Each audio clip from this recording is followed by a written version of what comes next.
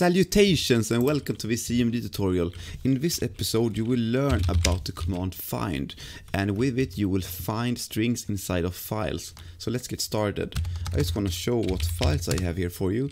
I have my mushroom file and I have my snake file and in those files I have the whole Wikipedia page about each of them and what do they have in common? Maybe they have poison in common, I think so.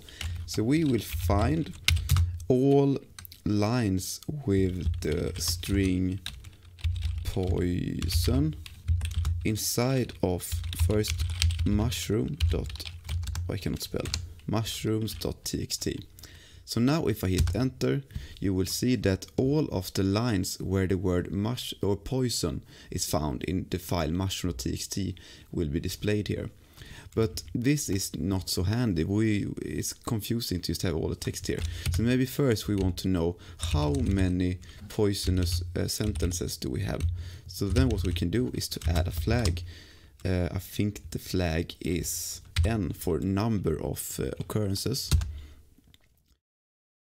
I was wrong. That was for listing uh, all of the of the lines where we had this occurrence.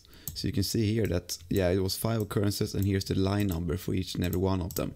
If you wanted, however, to list how many occurrences or count how many times it appears, use the slash c command. So now you see that, yeah, we had five occurrences. And if we also wanted to count inside of uh, the snake file, then we can also type snakes here. And it will do both of these uh, searches at the same time. So now when I press enter, you can see we don't have any poisonous snakes. Ah, god damn it. But if we had any poison, maybe we can search something else. What could be? Maybe the word the should be in the files is quite a common word. Maybe I forgot to paste anything in my snake file. That could actually be the case. This is embarrassing. Bear with me now. So I go into my mushroom snake file. God damn it, it was empty.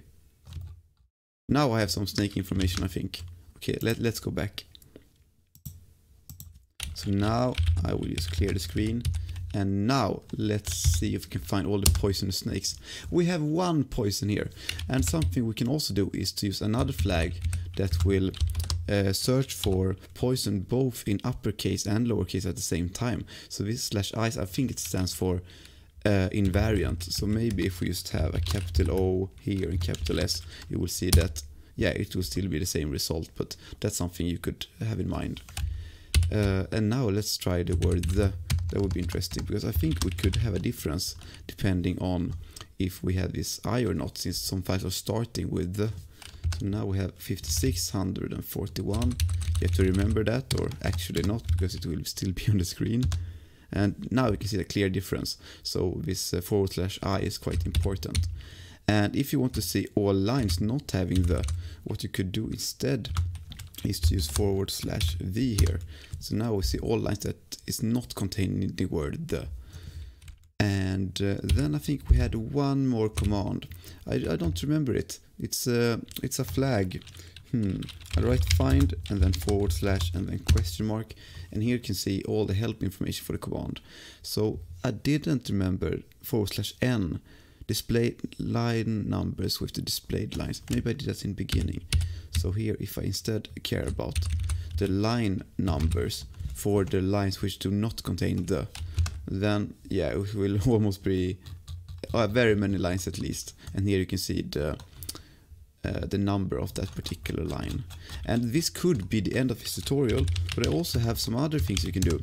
Something you could do with certain commands is to use the pipe character. So what I mean by that is that you could, for instance, list the directory like this, but instead of displaying it, you take the output and you push it through a little pipe.